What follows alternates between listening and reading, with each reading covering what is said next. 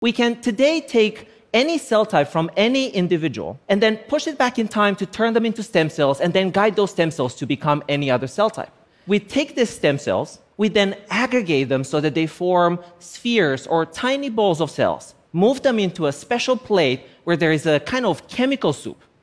And that chemical soup will allow them to turn into a brain organoid.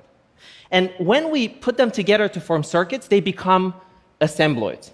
These are not brains in a jar. They're not some stepping stone to a Frankenstein monster.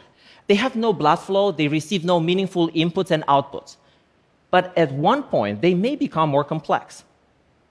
Assembloids could be key to understanding how the human brain is built. By allowing us to recreate circuits of the human brain, we will gain new insights into human biology.